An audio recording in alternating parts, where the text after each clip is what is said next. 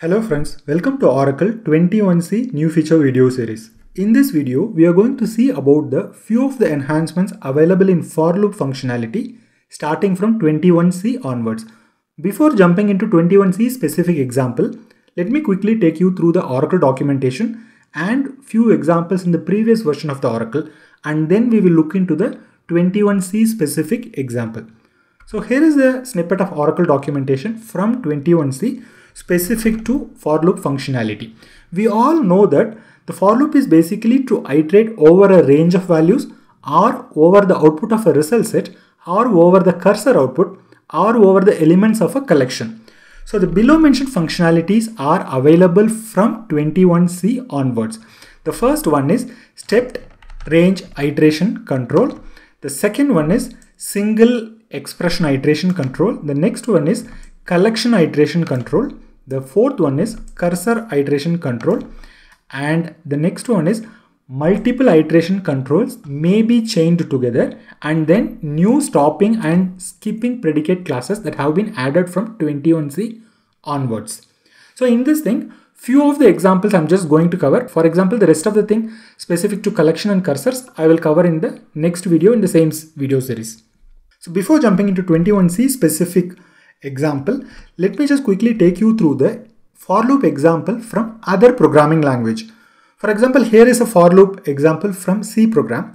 Basically, the intention of the program is to print the odd numbers between 1 to 10. So what we are writing here is for i equal to 1, i less than or equal to 10 and then i equal to i plus 2. So basically there are three important things with respect to this for loop that is the starting range of the loop and the end range of the loop and what is the increment value that should happen for each iteration. So in this case the starting value is 1, the end value is 10 and every time a loop executes it increments by 2. So within the loop we are just printing the loop variable i. So basically it will just print the all the odd numbers. That means in this case the for loop will execute 5 times because for every iteration the loop variable will be incremented by 2. That means while the first iteration the i equal to 1 and the second iteration the i will become 3. So basically the for loop will execute 5 times and it will just print the odd number.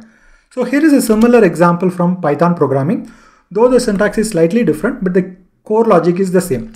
So here is the starting range here is the max range that or the end range here is the increment value that means it will start with 1 and it will execute till 10 and every iteration it will just uh, increment by 2 now let us see the example from oracle for loop. So here is the syntax of basic oracle for loop. Here is the start value and here is the end value. We don't have exact equivalent for this step operator or the increment or decrement operator. The for loop till the previous version will just support to iterate over a range of value and the default increment is always 1 and we cannot change the increment or decrement here. It will always increment by 1 only. That's why in this example it is just printing from 1 to 10. Suppose if you want to achieve the similar functionality in Oracle, generally what we used to do is we used to implement those functionality within the loop. So basically the same program we will just uh, slightly alter and we will handle programmatically within the for loop that that means for loop will execute 10 times but within for loop programmatically we will avoid all the even iteration for example here is the modified program so generally what we used to do if it is odd then we will exclude only for even output we will just print that means technically the for loop will execute 10 times but within for loop, we are excluding all the even iterations. But in this case, for loop iterations will run only five times in, in, all, in all the previous examples. Now, starting from 21C onwards, we have a lot of uh, new functionalities available in for loop, which supports these kind of uh, new things. Something like uh, we can add increment operator and then there are a few other functionalities which we are just going to say in a while. Before jumping into 21C specific example, let me just quickly take you through few examples till 19C. So I've just connected to 19C Enterprise Edition database. So here is a very basic for loop which generally we used to write which will iterate over a range of values starting from 1 to 10. Let me just first execute. So it just prints 1 to 10. What max we can do till the previous version is we can just go and add one reverse keyword here So basically in this case, it will just execute the loop from 10 to 1. This is what the max we can do. We don't have an option to say increment or decrement. Or suppose if I want to say that I want to execute the loop from 1 to 10. And then if I want to say I want to execute the loop from 40 to 50.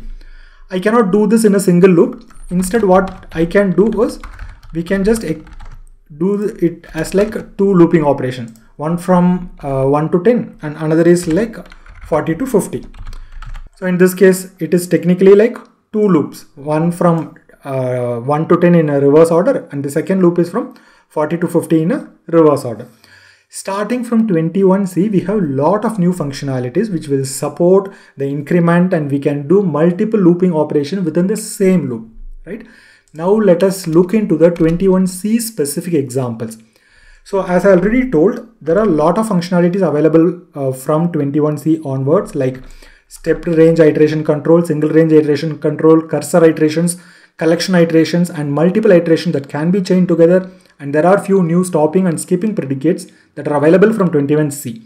But in this example, uh, I'm just going to cover three of these example or three of these functionalities. One is a stepped, the next one is a single iteration control and then multiple iteration control that may be chained together. Probably the rest of the things specific to collection, cursor and new stopping and skipping predicates I will cover in the upcoming videos in the same video series. So in this video with specific to these three that is stepped range iteration control, single range and multiple iteration controls, I'm just going to cover using five examples. Just we are going to see five examples which will help us to understand what is stepped range, what is fractional range, what is a fractional stepped range, and then what is a single expression iteration, and then how to chain all the iterations together. Now let us jump into 21C specific example. Let us start with stepped range iteration example. So connected to Oracle 21C Express Edition database, so here is our very basic for loop which will just iterate from 1 to 10. Let me first execute this PL/SQL block. So as expected it is just printing starting from 1 to 10. So the equivalent of this for loop is nothing but it is like for i equal to 1, i less than or equal to 10. Since this for loop will always iterate or increment by 1, let's just put i equal to i plus 1. So this is the exact equivalent of the for loop. From 21C onwards, what we can do, we can specify the increment value by specifying the by keyword as part of this for loop syntax. We can say by, we can say by what value we want to increment. Let's say by 2. So this is exactly equivalent to i equal to 1, i less than or equal to 10, i equal to i plus 2. Okay, now let me just execute this PL/SQL block.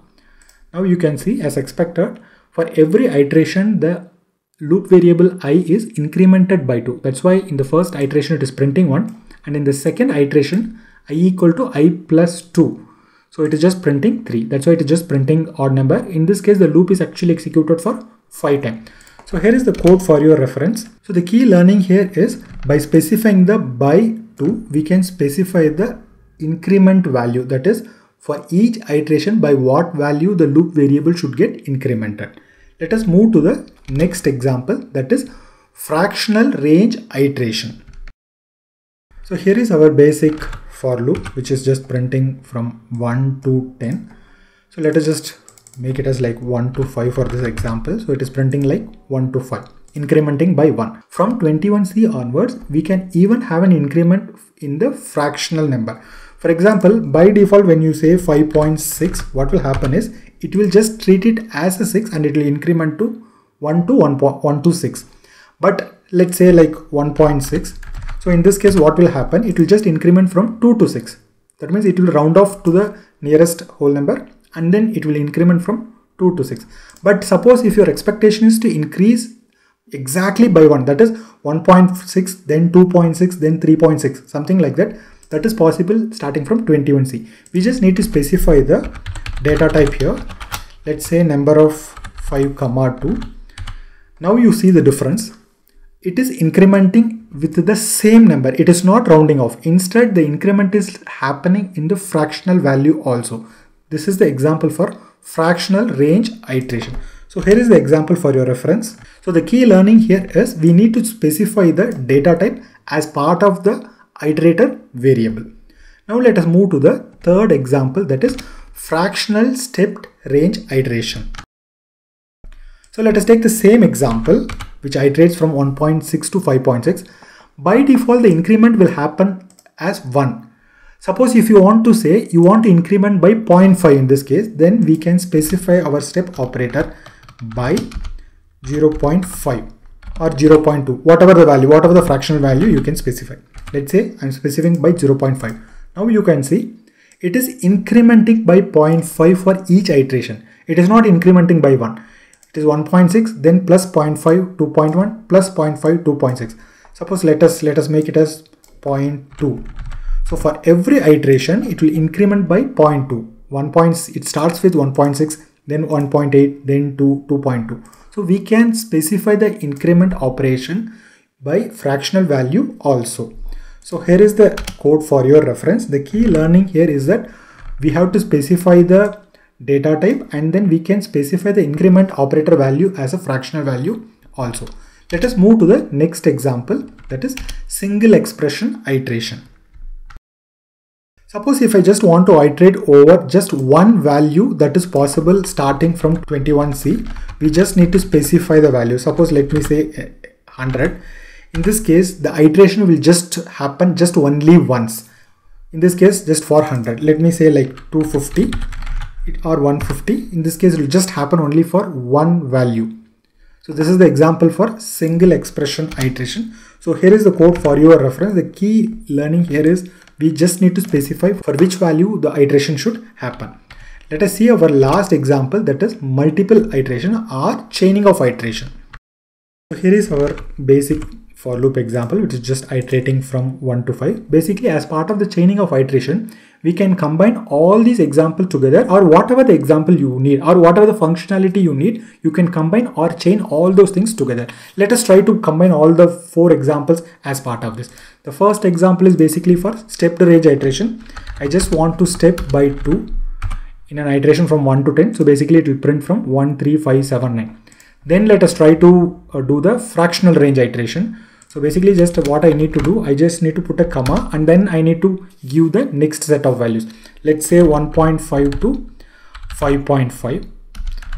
I'm just executing this. Now you can see here the first value that is 1357 is basically for the step range specified here. And the next set from 2, 3, 4, 5, 6 is basically for the next one suppose if i want to make this as a fractional range i just need to mention the data type here. Let's say number of 5 comma 2 let me re-execute the statement. Now you can see the first set is basically for stepped range. The second set of output is basically for the fractional range. Now let us add our fractional stepped range also. Let me just copy the same thing. Let me say by 1.2 let me just re-execute. Now you can see the first range is first set of output is for stepped range second set of output is for fractional range. The third set of output 2.7 3.9 5.1 is basically for the fractional stepped range. That is because of 1.5 to 5.5 increment by 1.2 let us add one single range expression also here. Let me just add this here now you can see that is also added as part of this. So basically in this example what we are doing we are trying to combine all these iterations together. So the key learning here you can combine multiple things here. Basically in this case i'm just adding the first set is basically for stepped range. The second set is basically for fractional range. The third set is basically for fractional stepped range. And the fourth example is basically for single iteration. Basically the learning is we can combine all those things together. So here is the example for your reference so here is the output. So you we can see here the very basic thing that is i in 1 to 10 by 2 so basically the output is from 13579 the second part is 1.4 to 5.6 this is nothing but fractional range iteration. This is fractional range iteration. The first part is stepped range iteration. So let me just mention the output also here. So the 13579 is basically for the first set that is 1 to 10 increment by 2. The second set that is 1.4, 2.4 till 5.4 is basically for the fractional range iteration. So this, this section. The third part is fractional stepped range. So this is a fractional incremented by 0.2. So the output is from 11.5 to 15.5 you can see this is because of this fractional stepped range. And the fourth part is single expression iteration. That is because of this and this is for the example 4 and the output is for 100 and this is for single expression iteration. The last part I just put the reverse also. And this is also kind of a stepped range only but in a reverse direction so reverse from 90 to 95 that is from 95 it will start printing so here is from 95 to 90 and the example is again for the stepped range iteration only. So this is the example again for stepped range iteration. So basically the learning here is we can combine all those things together and that is called the chaining of iterations. If you have learned something new, please like this video, subscribe and stay tuned for new feature video, interview question, SQL practical question and concept videos and thanks a lot for watching this video.